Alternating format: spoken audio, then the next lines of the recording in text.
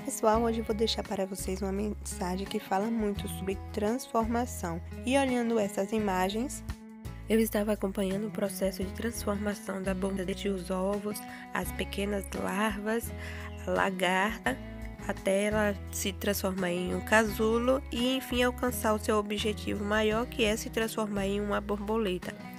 E o vídeo de hoje foi inspirado nessa incrível transformação.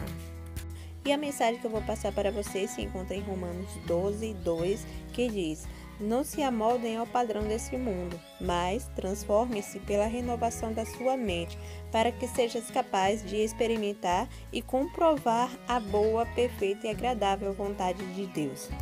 Devemos parar de imitar as pessoas e sermos imitadores de Cristo. Ter uma mente renovada, ter pensamentos bons, ter atitudes boas, ser uma pessoa renovada, de uma mente transformada. Com pensamentos que nos edifica e que possa ser capaz de ajudar até o seu próximo. E em 2 Coríntios 5,17 diz: Assim que, se alguém está em Cristo, nova criatura é. As coisas velhas já se passaram, eis que tudo se fez novo. Aqui está mais um versículo que fala sobre transformação. Transformação de hábitos, deixar as velhas práticas, os velhos hábitos, maus costumes e ser renovado. Pois, se queremos ter uma vida transformada, essa transformação tem que começar primeiramente dentro de nós.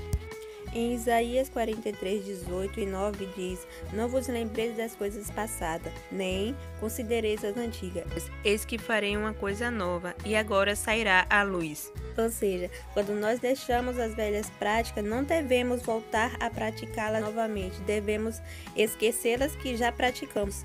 E assim Deus fará infinitamente mais do que pedimos ou pensamos.